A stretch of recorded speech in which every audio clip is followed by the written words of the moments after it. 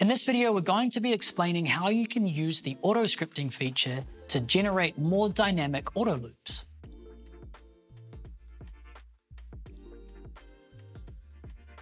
Traditionally, auto loops and auto scripting were two separate features. You would use the auto scripting feature to generate light shows that you could then customize if you like, whereas auto loops were used as a backup system that would play back for tracks that you haven't created a light show for.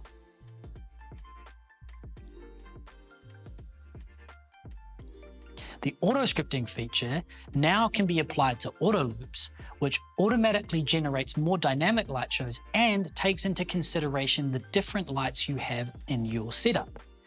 Traditionally, auto loops would only have effects in the main track, whereas now, using the auto scripting feature, you can apply those lighting effects to your entire venue and to improve the look and the style of your auto loops.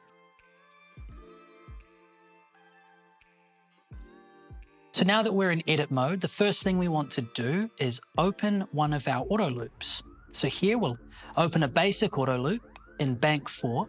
And as you can see, there is only effects placed in the main track, and there are no effects placed here in the fixture tracks.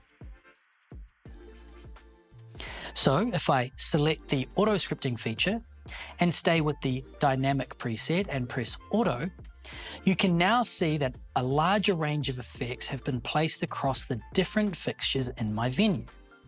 This is a really fast way to improve the auto loops that you have and to create more dynamic light shows based on the fixtures in your venue.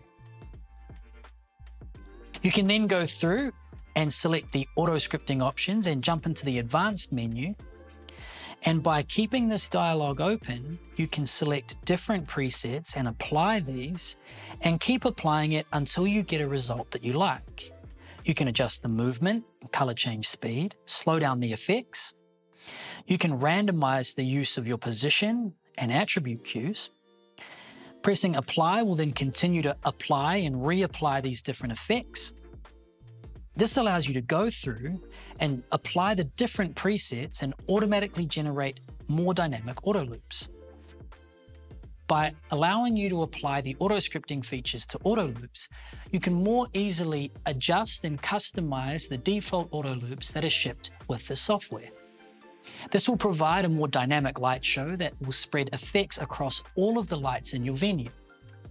If you need any help getting set up with auto scripting or auto loops, please reach out to support at soundswitch.com, send us a message on Instagram or Facebook, or leave a comment in the comment section below. You can also join the user group on Facebook and get help from other users in the SoundSwitch community. Thanks, and we'll see you in another video.